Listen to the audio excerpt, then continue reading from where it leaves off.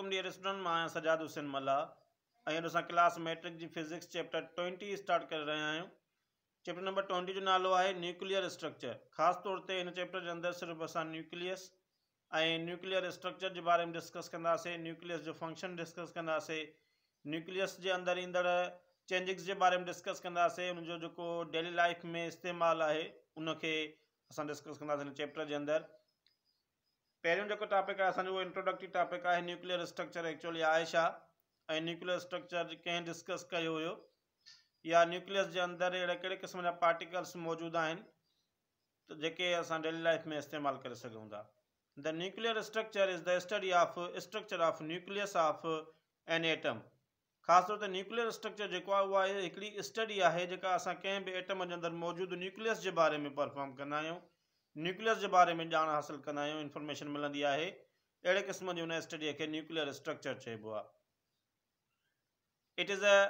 denser region ख़ासि तौर ते न्यूक्लियस हूंदो छा आहे इहो हिकिड़ो डेंसर रीजन आहे यानी हिकिड़ी तमामु घणी गुथियल एराज़ी आहे जंहिं जाइ ते एतिरा त पार्टिकल्स पाण में क्लोज़ हूंदा आहिनि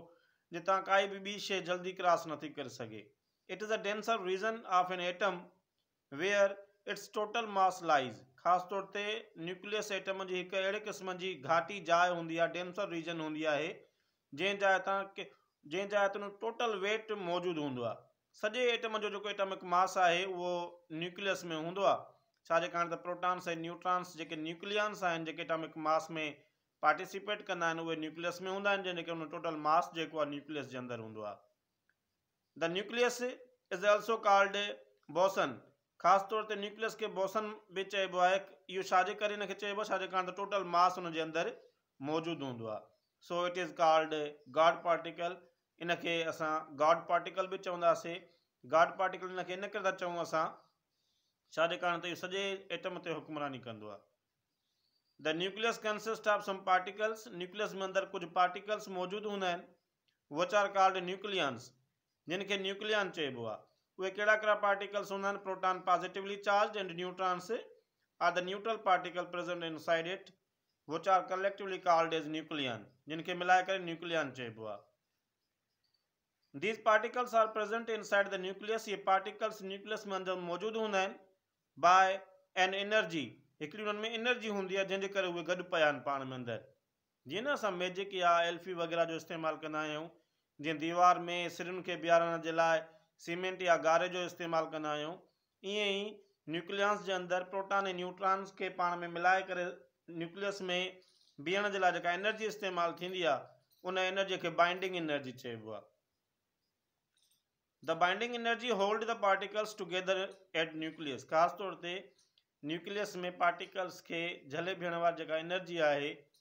मज़बूतीअ सां बीहण वारी जेका एनर्जी आहे उनखे बाइंडिंग एनर्जी चइबो आहे the nucleus is positively charge part region खास तौर ते न्यूक्लियस जेको आहे उहो प्लस चार्ज वारो हिकिड़ो जेको आहे सेंटर आहे या मर्कज़ आहे पॉज़िटिव चार्ज छो त असांखे ख़बर आहे त न्यूक्लियस जे अंदरि प्रोटॉन्स बि आहिनि न्यूट्रॉन्स बि आहिनि पर चार्ज कंहिं ते आहे प्रोटान्स ते आहे न्यूट्रॉन्स ते न आहे त प्रोटान ते जेका चार्ज हूंदी सॼे न्यूक्लियस जे मथां उहा चार्ज हूंदी आहे तंहिंजे करे असां चई सघूं था त जो न्यूक्लियस पॉज़िटिवली चार्ज आहे the nucleus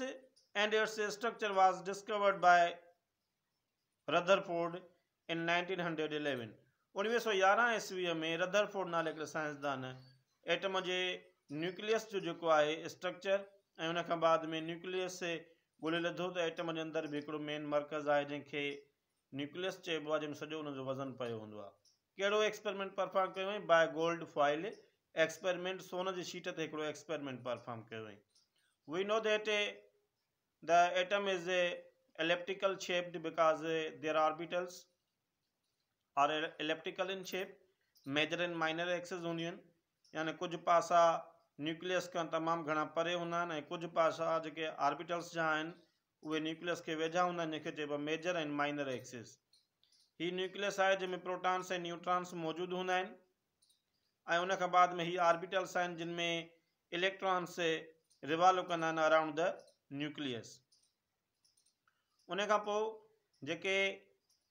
ॿ पाटिकल्स आहिनि उहे न्यूक्लियस जे अंदर मौजूदु हूंदा आहिनि ऐं न्यूक्लियस जेको आहे हिकु अहिड़े क़िस्म जी डेंसर रीजन आहे हिकु घाटी जाइ आहे डेंसर रीजन जंहिं जाइ ते हुन टोटल मास